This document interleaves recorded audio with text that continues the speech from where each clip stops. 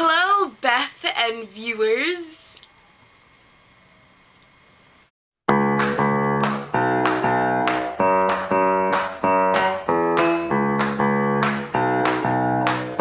So today I visited this really cool museum in the Geneseo area.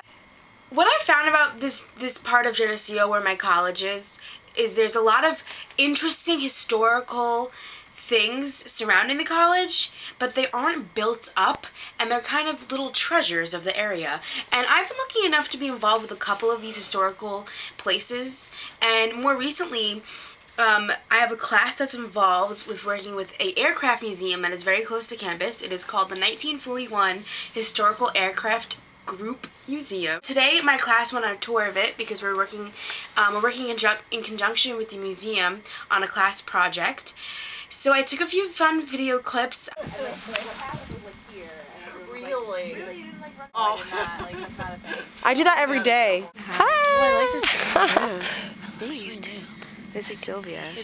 She's the bomb.com. Not really. Are you freaking kidding me? I'm so awesome. Get out of here.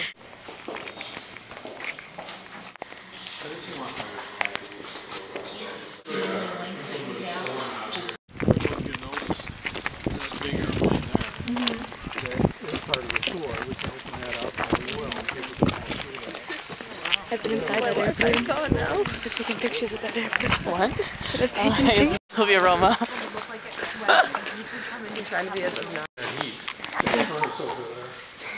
And uh, what we do is uh, take airplanes or portions of airplanes and work on them here. And I just was mentioning, these are the control surfaces off the large C-119 that you see part of. We have all the charts on the wall determine where they're flying to. Start off with the living room and work our way down kitchen, laundry room at the end. And uh, the fireplace has a simulated fire on it. And uh, the stuff here was all donated. And we have some uniforms and some tools, a lot of intercontinental bombers, that everything into the drop of missiles, the rocket with fire, take the nuclear warhead away from the airplane, and destroy the target. Seven there is a uh, C-47, it's a Douglas C-47, that was used to drop paratroopers behind enemy lines. And that particular airplane was the lead plane in the second wave of 82nd Airborne paratroop drop in the invasion of Normandy. Just a casual dog. Just casually roaming. Silver twin engine one got a scene in the Amelia Earhart movie. And they needed a plane that looked like the one that she flew, which was very similar to that. But be careful with your footing, make sure you stay on the floor plan.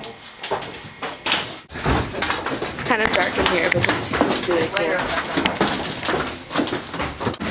This is insane.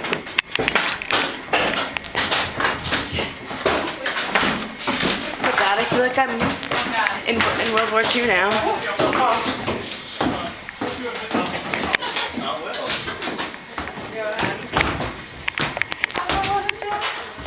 It's really cool. I just want everyone to know that Taylor is quite possibly my least favorite person to ever have, um, unfortunately, touched this earth.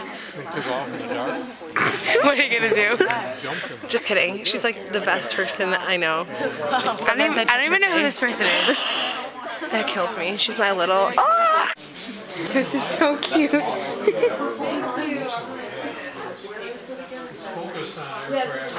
So this is Sylvia's boyfriend. So that is all. I hope you enjoyed my journey through museum. It's only a few short clips. I'm sorry I don't have more. But The HAG is honestly one of my favorite places in Geneseo. So I really wanted to share that with all of you. I'll see you tomorrow, Beth, DFTBA. Say goodbye. Bye. This is Danny in her natural habitat. Under the comforter, laptop out, fanfiction tabs open.